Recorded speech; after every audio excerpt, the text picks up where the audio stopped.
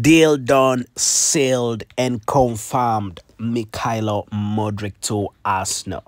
Hello everyone and thank you for watching Arsenal Die Hard. And make it a point subscribe and ring that notification bell so that you do not miss out on anything Arsenal Die Hard has to bring to you. As long as it is sports we're definitely dedicated to bringing to the latest. As long as it is Arsenal related we will always be the first people to bring to you the latest as it happens. Right about now we're talking about transfers who's going where definitely who is remaining at the club and not forgetting I was the club definitely selling but right about now, the main man in the building is none other than uh, the one and only Mykhailo Mudryk, the, Ura the Ukrainian uh, football player.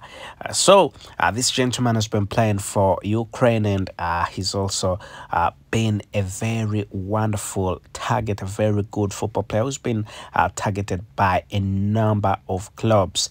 A number of clubs have been on uh, this gentleman wanting, uh, there were a number of clubs definitely wanted uh, this gentleman to play uh, for them. But uh, right about now, what I can confirm to is that uh, this gentleman uh, has met with uh, the coach of Arsenal, Mikel Arteta, and the technical director, and an agreed fee was set, which was uh, 100 million euros, and that was definitely a little bit high. Uh, some people say that was high, 100 million euros, which was agreed by uh, Mikel Arteta and the technical director of Arsenal, Mr.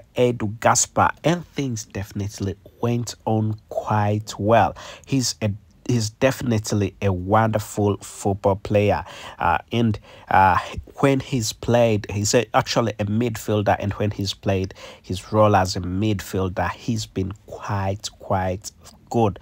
A very wonderful one. And uh, the fact that when you see how he plays his mode of play it's very wonderful and having him will definitely be quite good. His uh, his striking skills are quite good. He can play as an attacking midfielder and also as a defensive midfielder.